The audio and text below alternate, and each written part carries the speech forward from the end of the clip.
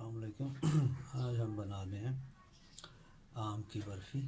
तो आम की बर्फ़ी बनाने के लिए हमने जो है ना चार अदद आम लिए और उनको छील के उनका पल्प निकाला। पल्प बनाने के लिए हमने उसके अंदर थोड़ा सा जो है वो दूध डाला और जो है ताकि जो है ना वो आराम से बन जाए। तो ये हमने जो है वो चार आम लिए हैं और आम आपने वो लेने हैं कि जिनके अंदर जो है वो बाल ना हो, यानी कि दुशहरी हो तो ये ज़्यादा अच्छा है।